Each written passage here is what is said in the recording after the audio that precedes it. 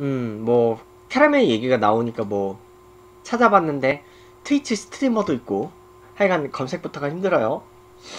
wow, 잠깐만요. 나 이거, 캐러멜 샘플 사진 좀, 어, 오렌지 캐러멜 그거 생각나가지고, 갑자기 막, 그건 아닌데, 음. 어우, 먹고 있으면서도 배고파지는데. 오케이, 사진 땄어. 사진 땄고요. 사진 그 갖고 와 볼게요. 자, 먹고 싶을 때는 이런 이런 걸 한번 띄워야지. 음. 이런 거 빨라. 어. 짜잔. 아니 내가 이게 너무 막 되게 이거 펴, 그 연출 잘 해놔가지고 내가 이거 갖고 와- 갖고 오고 싶었어요. 설탕을 가열해서 만드는 흑갈색의 감미료. 이름의 어원은 라틴어의 캐러멜루스 설탕 막대기 또는 아랍어의 쿠랏 알 미르. 근데 여기서는 아랍어로는요 단 소금 덩어리. 여기서 왔다는 썰이 있, 다고 네, 캐러멜이라는 단어도 흔히 쓰이는데 프랑스어의 CA 발음이 캬에 가깝게 난다. 실질적인 영향은 일본에서 받았다. 근데 일본도 프랑스어의 영향을 받아서 캐러멜루라고 표기를 한다. 뭐 일본어는 그렇대요. 섭씨 120도? 와 그렇게 높은 온도에서 가열해? 그 온도에서 설탕을 천천히 녹이면 분자 구조가 무너지게 되고 설탕이 포도당으로 분해된 뒤 포도당 덩어리가 식으면 다시 결합하면서 캐러멜이 된다. 뭐가 이리 복잡해? 뭐 그렇고요. 쉽게 말하면 설탕 조림이다. 뭐 우리 달고나 보통 이렇게 만들죠? 뽑기. 뽑기 막 이렇게 하는 거 있잖아. 여, 설마 여기서 방송에선 가열 못하겠고요. 우리 집에서는 가스레인지를 안 쓰니까. 설탕을 단순히 오랜 시간 가열하기만 되니까 하기만 하면 되니까 만들기도 아주 쉽기 때문에 요리에 감미료를 쓰거나 디저트나 과자류의 맛을 내기 위해 쓰이기도 하고 이 자체로도 캐러멜 캔디 같은 용도로 쓰인다. 자 여러분 0시 넘었어요. 우측 상단에 up버튼 한 번씩 부탁하고요. 밀크 캐러멜로 불리는 캐러멜 캔디는 이 캐러멜에다 우유 같은 걸 섞은 후 굳혀서 만든다. 집에서도 생크림, 우유, 물엿, 바닐라, 설탕만 있으면 쫀득쫀득한 캐러멜을 만들 수 있다. 내년 화이트데이 때 이거 한번 만들어 볼까? 내가 만들어서 내가 먹겠지만요. 음. 네, 나는 뭐 발렌타인데이 때 초콜릿 내가 만들어서 내가 먹었잖아요. 설탕이 녹아서 흘러내리기 때문에 뭔가 이해가 안 되겠지만 사실 캐러멜화 과정은 설탕에서 수분을 제거하는 과정으로 설명이 된다. 수분이 제거되는 과정이라는 용어는 오해의 소지가 크므로 물 분자의 총 개수가 감소하는 것으로 보는 것이 정확하다. 설탕 자체가 머금고 있는 습기가 증발하는 것 이외에도 설탕이 포함하고 있는 물 분자들이 당의 가수 분해에 사용되기 때문이다. 점점 용어가 어려워지고 있네요. 후자는 단순히 물리적 차원이 아닌 화학적 의미의 물의 제거다.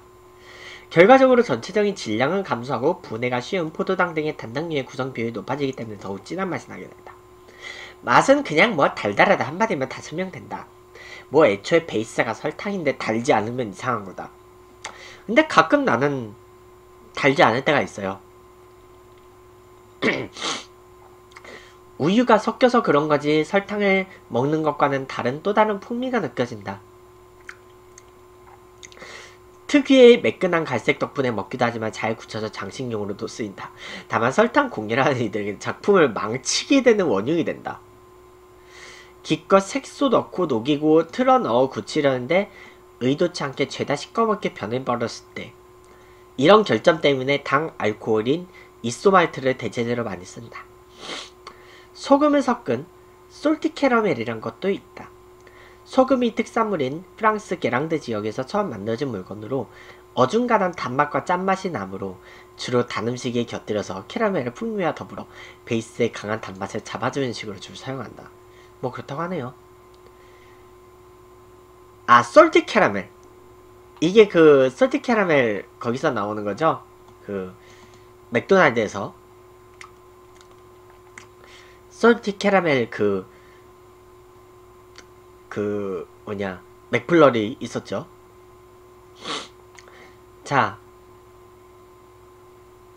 그리고 아르헨티나하고 칠레는요, 둘세데 레체라는 당과가 있대요.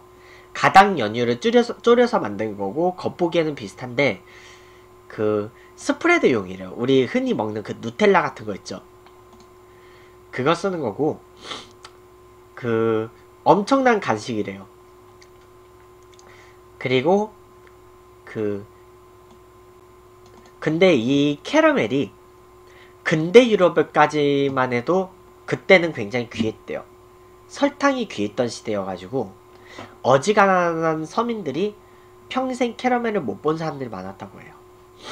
음. 그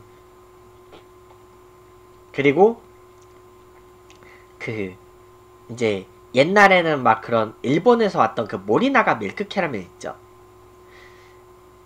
그리고 그 뭐냐 지금은 이제 오리온의 그 밀크 캐러멜이 그 원래는 그러니까 지금은 오리온 그룹이 만들고 있지만 처음 올 때는 1979년에 그 모리나가하고 기술 제휴를 했대요. 둘 다 국내에서 살 수 있어. 어. 그래서 밀크맛, 팥차, 팥맛, 말차 맛이 있는데 팥맛은 호불호가 좀 갈린다고. 음. 기차에서도 팔았고. 근데 지금은 너무 흔하게 먹고. 근데 어린이들이 구충약을 하도 안 먹으니까 막 이런 미루꾸 모양의 종이곽에다 구충량을 넣어서 주는 경우도 있었대요. 음. 식품 첨가물로는 캐러멜 색소가 있고요. 그리고 여러분들 그 우리나라에서 먹는 짜장면에는요. 우리나라에서 짜장 만들 때 쓰는 춘장에 이 캐러멜 색소가 들어가요. 제가 그 예전에 그 짜장면 컨텐츠 했을 때 이거 제가 아마 얘기했을 거예요. 검은색을 인위로 내기 위해서 춘장에 캐러멜 색소를 넣는데요. 응. 원래 그 원조 춘장은 검었지가 않대요. 그 중국에서 춘장 보면 그 설탕뿐 아니라 당분을 포함하고 있는 식품을 가열하여 단맛을 끌어올리고 색을 검게 만드는 작업이 캐러멜화라고 한다고 하더라고요. 양파를 그 양파가 우리 그 생으로 먹으면 맵잖아요. 근데 양파를 그 우리 그 막 볶음으로 먹거나 그 고기 구워 먹을 때 같이 볶잖아요. 양파를. 그때 먹으면 달잖아요. 근데 나는 또 그거를 그것만 먹진 않죠. 쌈장에다 찍어 먹어야죠. 가끔은 소금에다도 묻혀서 먹어요. 어쨌든 근데 이 캐러멜은 이제 캐러멜 마끼아또 그 라떼 마끼아또에다가 캐러멜 소스 첨가하고 원래 캐러멜 마끼아또 원래는 이탈리아인 없고요 그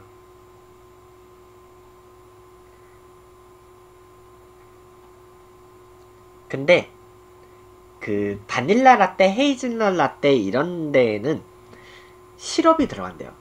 근데 캐러멜 마키아또, 카페 모카 이런 데에는 소스가 들어간대요. 어. 그러니까 시럽은 설탕물 더하기 향인데 소스는 그 해당 재료를 직접 사용한 거예요. 그래서 커피의 맛과 향을 덮어버릴 수도 있대요. 음. 어쨌든 그래서 그 캐, 캐러멜 마키아토를 만드는 방법은요. 요즘 마셔본 지 오래됐는데 자 스타벅스 홈페이지에 나온 영어 지문을 한번 그 제가 그대로 읽어보면요 Freshly steamed milk with vanilla flavored syrup marked with espresso and finished with caramel sauce 거품을 낸 우유에 바닐라 향 시럽을 넣고 에스프레소를 약간 넣은 후 그 위에 캐러멜 소스를 뿌린다. 우유 거품 위에 소스가 얹어지는데요. 이걸 드리즐이라고 부르죠. 음. 그리고 바닐라 시럽 대신에 캐러멜 시럽을 넣을 수도 있고 소스로 드리즐도 하면서 우유에도 시럽 대신 캐러멜 소스를 타는 레시피가 있어요. 하지만 캐러멜 맛은 진해지지만 칼로리가 올라가겠죠. 근데 이제 위에다가 소스를 드리즐하면 소스가 바로 입에 닿고 향을 바로 맡을 수 있는데 우유에 녹여버리면 그 같은 맛과 향을 내기 위해서 더 많은 소스를 써야 된대요. 그래서 캐러멜 소스는 그 위에다 탄대요. 그래서 시럽, 우유, 샷, 드리즐 이 자체 순서를 저작권 등록을 했대요. 음. 그래서 여러분들 그 메가톤바 먹어봤죠? 그냥 그 메가톤바 그맛 나는데요. 메가톤바 그 그래서 커피 전문점이 다 비슷한 메뉴들이 하나씩 있고요.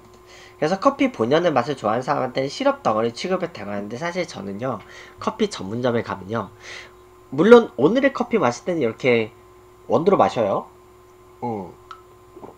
오늘의 커피 이런 거는 원두로 마시는데 저는 사실 커피 전문점에서 사서 마실 때는 시럽을 엄청나게 넣어요.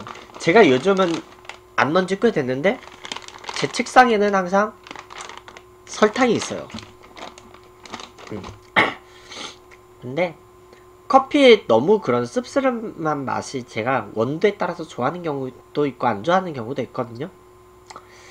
뭐 그리고 캐러멜 모카 카페 모카하고 캐러멜 소스를 조합한 것도 있는데 근데 이거는 문제는 캐러멜을 당분하고 마끼아또 유지방 조합이라서 그 스타벅스 톨 사이즈로 캐러멜 모카가 200 200 칼로리가 나가고요. 그란데 사이즈는 270 칼로리. 그란데 이 사이즈예요. 어. 집에서 마, 만드는 방법. 커피에다가 설탕을 듬뿍 넣고 우유하고 마가린을 넣어보면 비슷한 맛이 난다. 뭐 그렇다고 하더라고요. 네이버 웹툰 제목이 있다고 뭐 하네요. 아 갑자기 달달한 건 에이 지금 제가 아까 초코파이 딱 하나 먹었거든요. 하나 먹었는데 지금 달달한 게 또 땡겨서 저는 또 먹도록 하겠어요.